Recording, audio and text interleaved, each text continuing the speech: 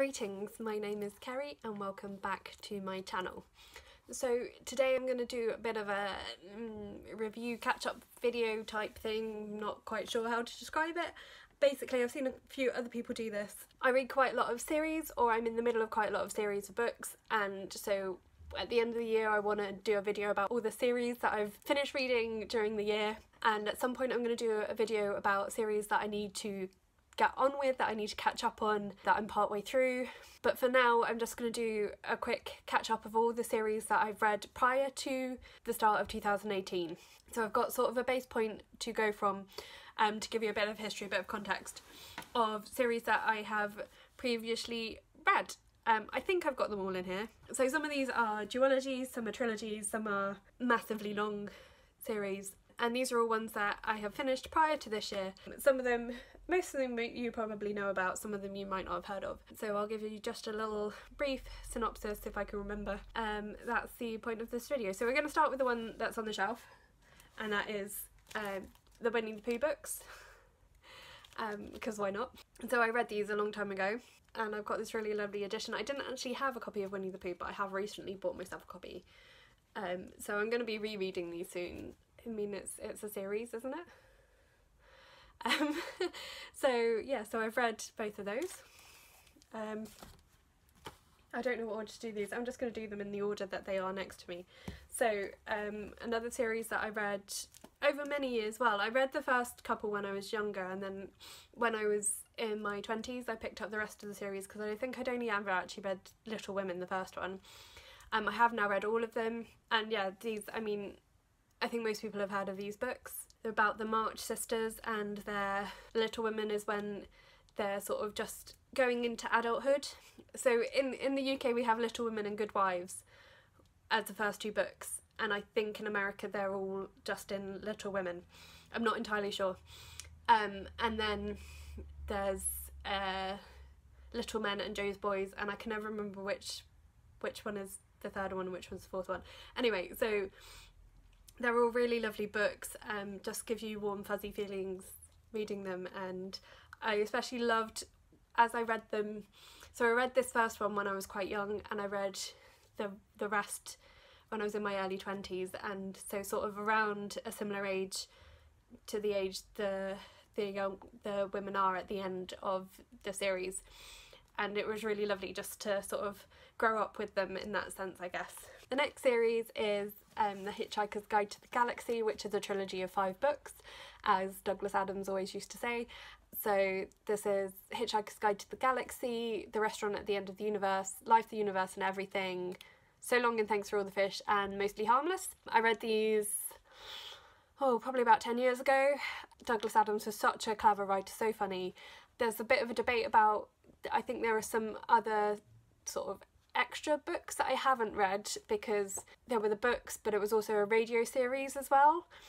So I think there were some sort of extras um, just looking on Goodreads says the lost chapters of the Hitchhiker's Guide to the Galaxy and then I think someone else has actually picked up and has written I, I don't know whether there was one that was unfinished and then someone else has sort of tried to finish it off um, I'm not sure. Anyway but the the sort of the five that are recognised as the trilogy. um, I have read all of those and really enjoyed and actually really could do with rereading them soon. But yeah, Douglas Adams is a brilliant writer. If you haven't, if you like sci-fi and you haven't read him, then seriously, you need to get on that. Okay, so the next series is one that you might not have heard of, because um, I don't really remember how I came across it, but I think it's like um, probably not quite young adult, probably a bit younger than that. So the series is called Hex by Rhiannon Lassiter. So I picked up the first one when I was in school, probably in a school book sale. Yeah, and then there were two more, which I can't remember the names off of the top of my head, and I lent them to a friend ages ago, and she still has them. And you've heard, you've heard me talk about lending books to a friend that still has them. It's all the same friend. I have this one friend who has maybe like a dozen of my books, and I just really need to get them back from her. Anyway, so these books are about I suppose it's slightly dystopian society. Uh, it is dystopian society. It's a future society where technology has just sort of taken over everything, and there's um, a group of people who develop a gene mutation that lets them telepathically communicate with computers. Yeah, so the trilogy is about how some of these people are discovered by the government and sort of enslaved essentially, and then there are a small group of them that are fighting against that. So, as I say, I got this this first one when I was still in school. So I think it's about 20 years old now. Just double check. Yeah, 1998 this first one was published, so 20 years ago. I'd be interested actually to reread them and see how well they've aged if I ever get the the rest of the series back from my friend.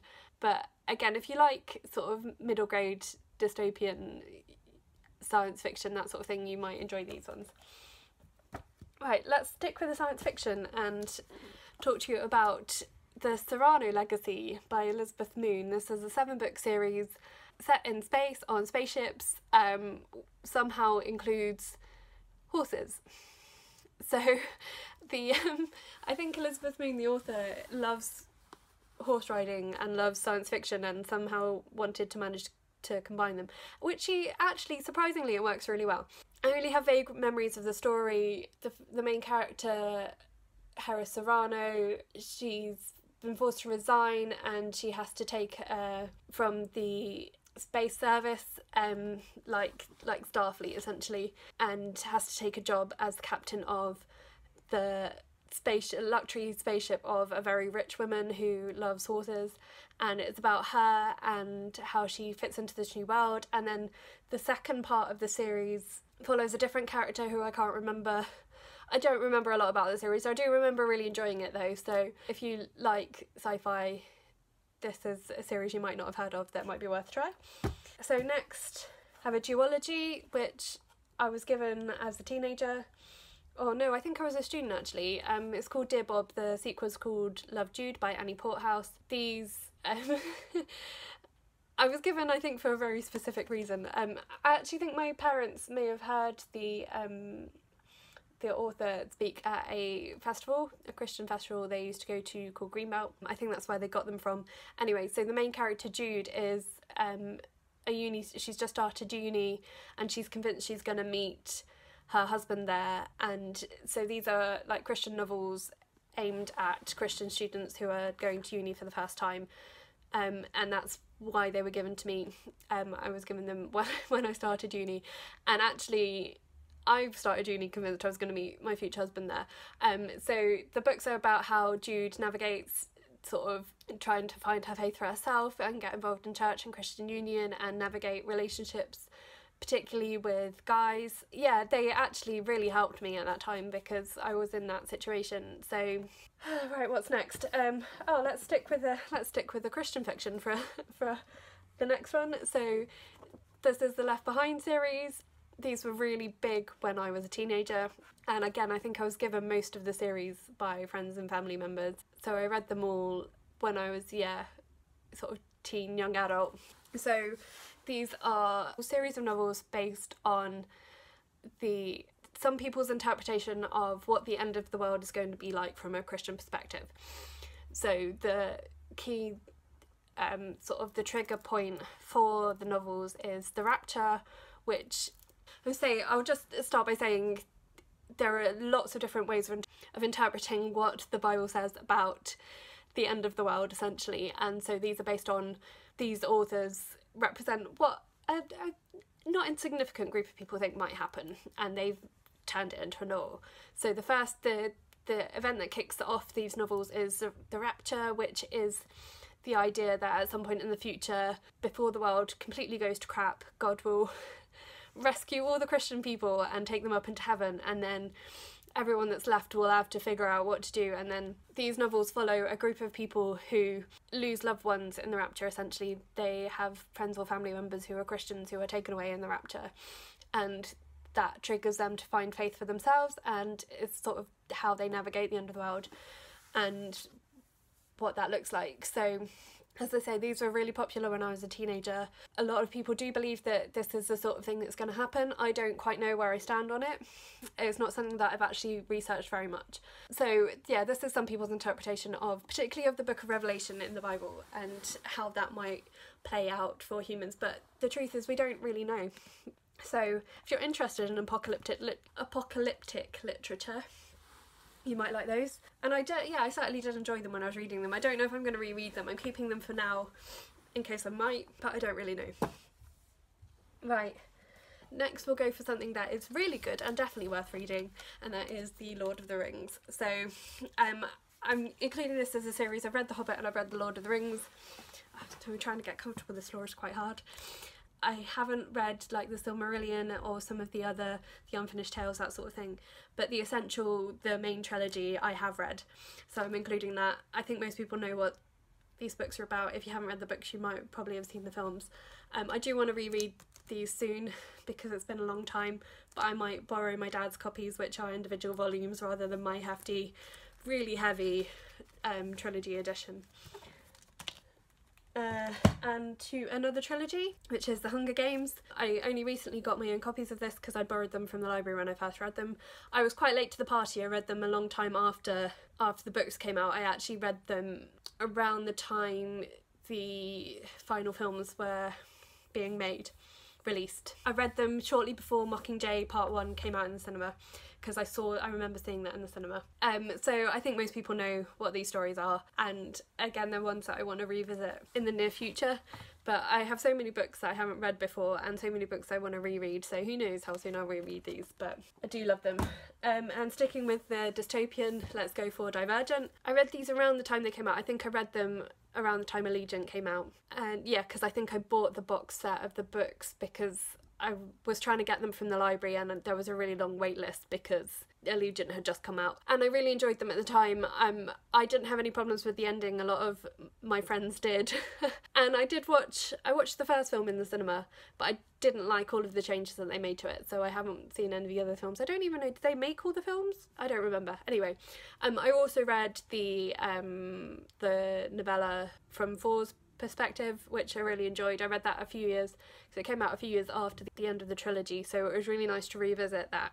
So again, I probably will read reread these at some point. I only tend to keep books that I intend to reread at some point. Uh, another trilogy that I read more recently, the Dragon King trilogy by Stephen Lawhead. This is a fantasy trilogy. It was the first series he wrote, I believe. Um, so I've read some of his other books which are better, but these are really enjoyable. Um, the first one is called In the Hall of Dragon. In the Hall of the Dragon King.